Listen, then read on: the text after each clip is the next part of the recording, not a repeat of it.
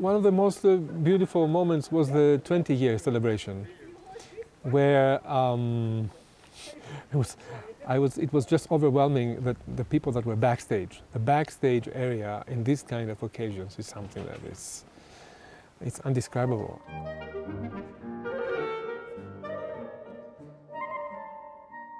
Commitment, devotion, um, admiration, respect, it's all coming together here.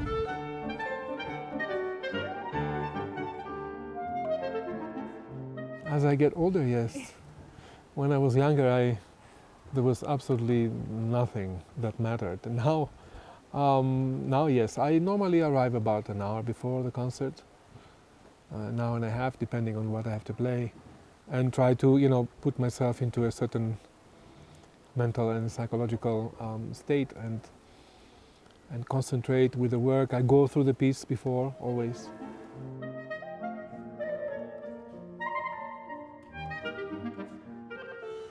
I would say probably Kreisler.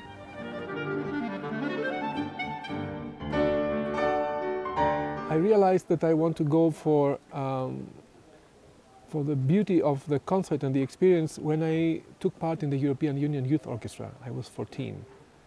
And uh, when we toured for the first time and we played with the great conductors, with Abbado, with Solti,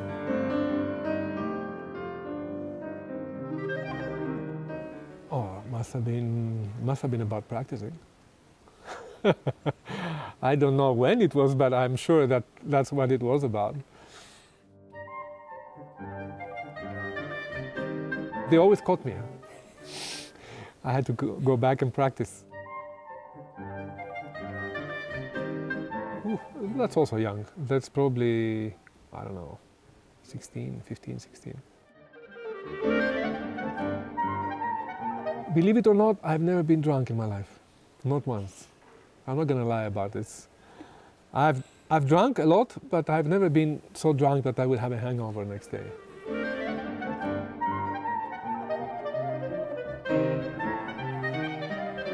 Let every time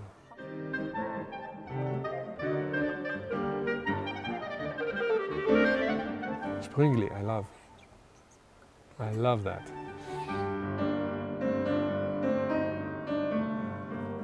Yeah, that will have to be more than two, three years ago. Yeah, that is, that is 86, 85 or 86, must be. It's obviously from a concert because I'm dressed with a tie, so that means this is a performance. But um, it could be from one of the competitions I did then. It could be. I don't remember the exact location. This is, I think, from the Sibelius competition. I'm pretty sure. This is 85. That's even before the Sibelius competition. That's 85 summer. And for that concert, my, my father was playing in the orchestra. So I'm playing Brahms concerto here in the uh, Herodes Atticus Theatre under the, the Parthenon. It's a fantastic venue. And that is, the, I think that's the summer before I did Sibelius competition.